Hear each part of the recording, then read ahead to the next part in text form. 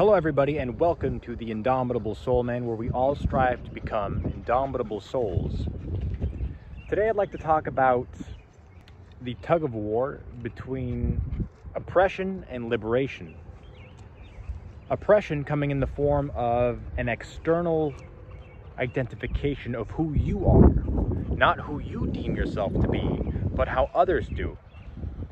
And essentially, what that is, is that's another's ability or desire to gain power or hold on you. That is oppression. Liberation comes with the ability to disassociate with others' labeling or identification of who you are.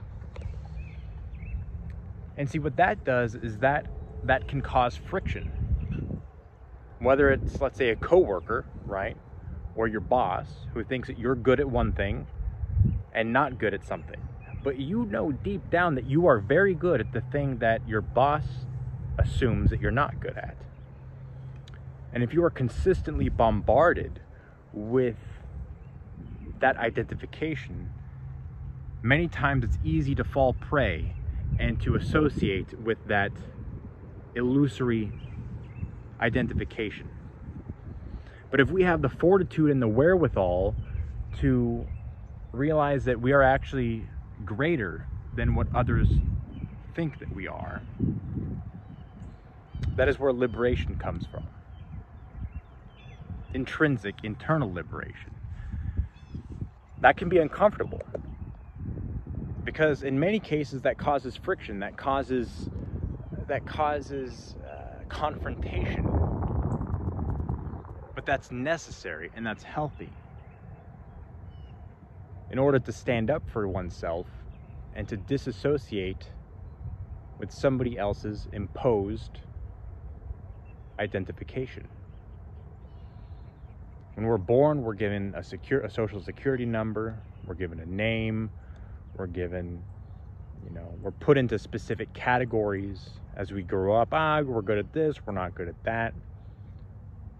And many times we spiritually and mentally and physically will latch on to these preconceived labels and identifications. And in many cases, in most cases, that is extremely self limiting.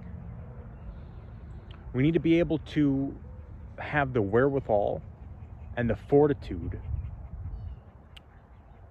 to disassociate with that. And that comes training, that comes with the ability to know thyself. And how do we figure out who we are? It is not through external validation, but rather through internal validation. That is through going out in nature doing grounding, grounding work, connecting with the earth.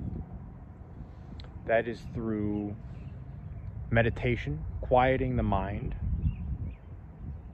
When we begin to realize that our attention and our focus is the most valuable currency that we have, that is liberation. What are we giving our focus and attention on? On believing others opinions of who we are or by believing our own, by adopting a new, more positive identification. See, that is how we reach self actualization and potential. A lot of the friction, internal friction, occurs when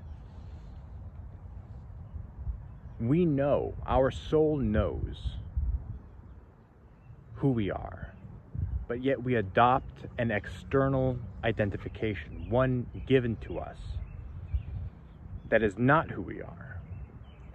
See, that is that is where that friction causes. So we need to be able to open up our connection to our soul and to have that trust and faith in knowing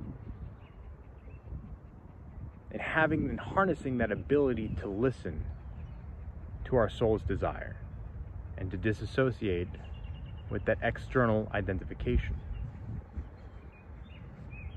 I hope this video has been helpful. Please comment down below, like, and subscribe to this channel.